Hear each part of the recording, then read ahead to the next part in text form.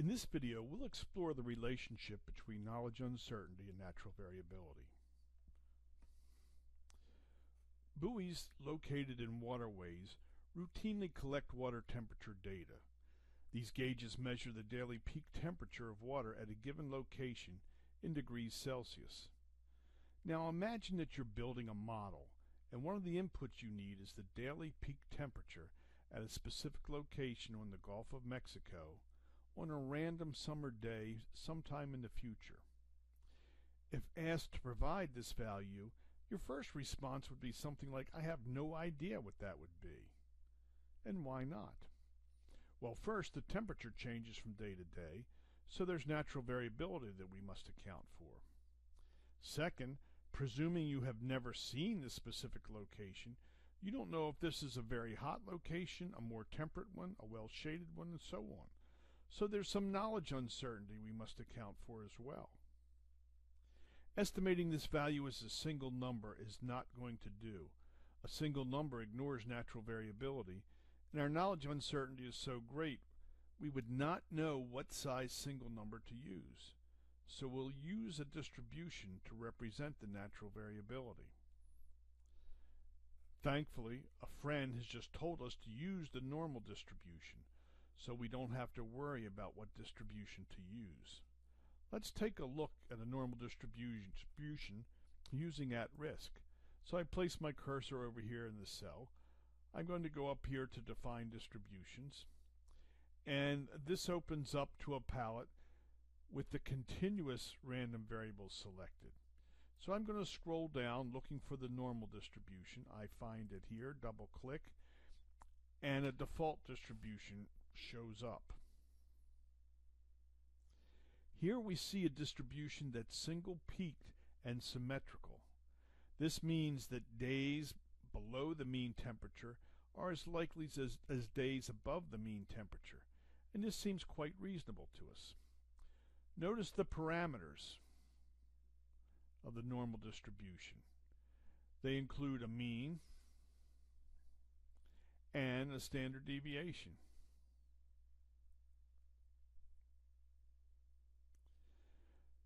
So they're the values we must estimate. If we knew the mean and the standard deviation, we could just plug them in and then the resulting distribution would show us the natural variability that exists in peak daily summer temperatures at this location in the Gulf. But we have a problem, however, because we don't know anything about the location. There is a true mean of the peak daily temperature during summer at this location, but this is a fact that we just do not know. So we're going to have to estimate it. Instead of estimating the mean as a single value, we can reflect our knowledge uncertainty about the mean by estimating it as a value between 20 and 25 degrees using a uniform distribution to convey our belief. So let's put the cursor in cell D4, go to Define Distributions, we come up with the same palette. I scroll down, find the uniform distribution, and we remember that the default parameters are not going to be the values that we need, so we'll put a 20 in for the minimum, a 25 in for the maximum. And now we have a normal distribution that represents our knowledge uncertainty about the mean temperature at this unknown location. The choice of a uniform distribution means any value between 20 and 25 degrees is as likely as any other value. Likewise, we're going to estimate the standard deviation as a uniform distribution. Using the same palette, we find a uniform distribution. And this time we're going to use a minimum of 3 degrees and a maximum of 7 degrees. We don't know what the variation in temperature is going to be, so we're making our own educated guesses. This is our belief about what these values would be.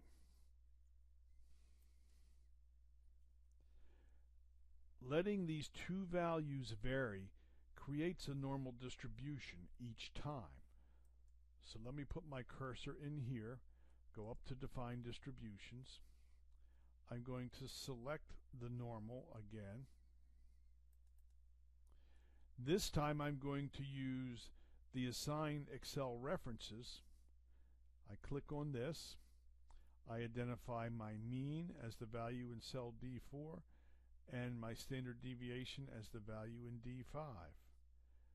I'm finished entering parameters, so I click on the icon and it brings me back here where we can see now I have a normal distribution with a mean that's about 23 degrees and a standard deviation of 3.6 degrees.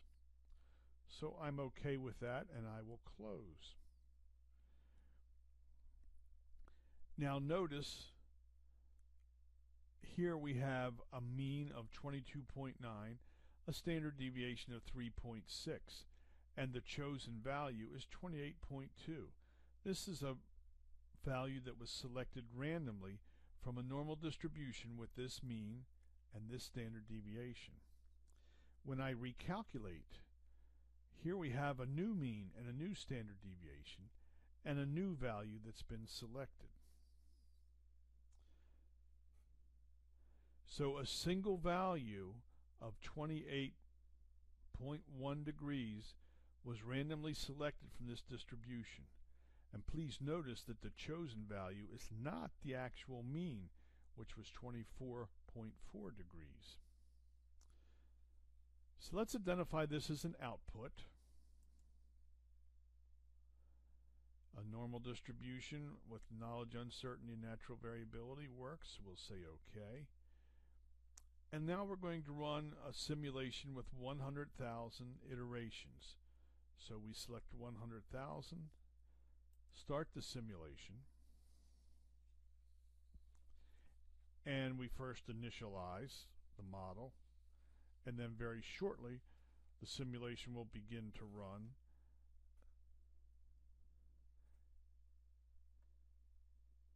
And now, as we see the results beginning to appear, notice that the results look like a normal distribution, and they have a mean of 22.5 and a standard deviation of 5.3. So what happened was we selected 100,000 pairs of means and standard deviations to get 100,000 different normal distributions. From each of those 100,000 normal distributions, a single value was selected. That single value was collected here, and that process was repeated 100,000 times. So the distribution that you are looking at is a number that includes both knowledge uncertainty and natural variability. In other words, both sources of uncertainty occur at once. It has knowledge uncertainty because there are two facts we lack data about, the mean and the standard deviation. These values are constants, but we estimated them with intervals and a uniform distribution. So imagine that we were not happy with this situation, and we do some research and learn the location and buoy number. And then we find thousands of data points Ignore any concerns you have about climate change for the moment in order to keep this example simple. So if we calculate the mean and the standard deviation for these thousands of data points, we can eliminate the knowledge uncertainty. So we've done that now. The mean is 23.7 degrees and the standard deviation is 3.2 degrees. So let's create a normal distribution using these two values. We come back to our sheet and here where we have natural variability only I'm going to say for the mean please find that on sheet 2 in cell G3 and the standard deviation please find that on sheet 2 in cell G4 and now we're going to create another normal distribution. just as we did before. Selecting the normal distribution, using the Excel references.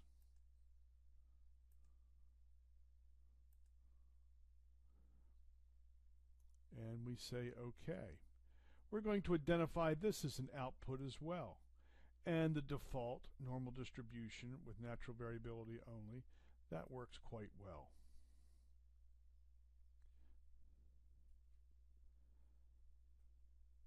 So we have a mean now with a we have a normal distribution with a fixed mean of 23.7 and a fixed standard deviation of 3.2. However, notice that each time we recalculate, we get a different value. Each day has a different peak daily temperature. So we're going to run a simulation of 100,000 iterations again. And we begin.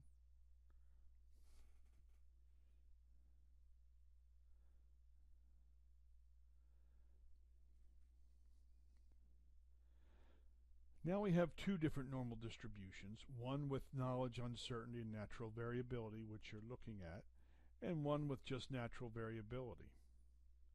So we're going to be able to compare them by running this simulation. So notice the model result here. This is for the original distribution, which has knowledge uncertainty and natural variability. Unhappy with that situation, imagine that we did some research, which means spending some money to gather data,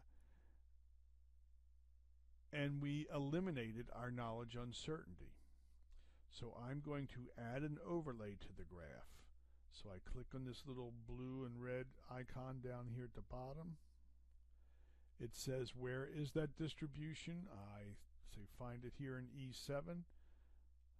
Okay. And here's what we see. So here you see our original distribution in red and we overlay the natural variability distribution in blue. Notice how they differ. First, consider the means. The red distribution seems to be centered farther to the left than the blue distribution.